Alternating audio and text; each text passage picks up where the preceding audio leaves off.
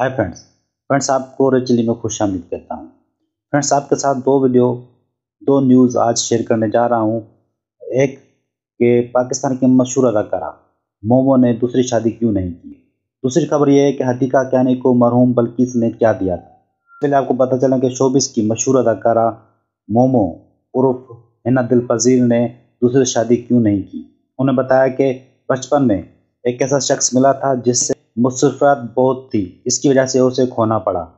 उसके बाद कोई ऐसा शख्स मिला नहीं जो दिल को लुभाए और मैंने दूसरी शादी नहीं की। अगर ऐसा कोई शख्स मिला जो मुझे दिल को लुभाए जो मुझे आ, मेरे दिल को अच्छा लगे तो मैं उसके साथ शादी ज़रूर करूँगी। दूसरी खबर ये है कि हदीका क्यानी ने अपने सोशल मीडिया पर बल्कि सैदी के साथ तस्वीरें शेयर करते हुए कुछ खास अल्फाज में अपने जज्बात का इजहार किया क्योंकि बल्कि सैदी के साथ इनकी ज़िंदगी का एक अहम पहलू जुड़ा हुआ है।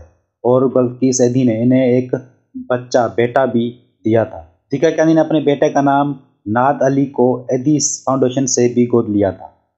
अधिका क्यानी ने 2005 में नाद अली को अडॉप्ट किया था। दोस्तों, बल्कि सैदी तो हमारे साथ नहीं रही, लेकिन उनकी खिदमत हम कभी नहीं भूल पाएँगे। हमारी दुआ है कि बल्कि सैदी को अल्लाह पाक जन्नत तल फरदोस में जगह दें। वीडियो अच्छी लगी है तो मेरे चैनल को लाइक और सब्सक्राइब कीजिएगा थैंक यू सो मच।